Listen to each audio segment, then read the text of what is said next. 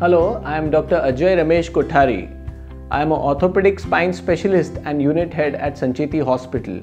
I come from a nearby town of Ahmednagar. I came to Pune for my MBBS graduation and then eventually joined Sancheti Hospital for post graduation and did DNB orthopedics.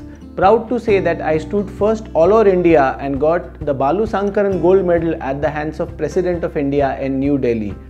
Spine is the most complex part of human body. It is a great combination of strength, endurance and flexibility. We are nothing without spine because it is the powerhouse which gives us senses, flexibility and eventually our motor function. Spinal deformities is so common yet so much neglected aspect of human spine. It can happen in young as well as elderly. If neglected, can lead to horrendous complications in form of gross deformity and to an extent leading to paralysis. So it's very paramount to diagnose the spinal deformity at the earliest.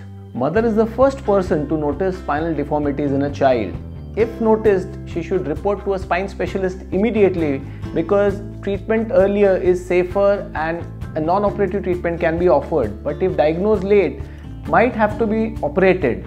So prevention is better than cure and earlier diagnosis is equal to safer and more effective treatment.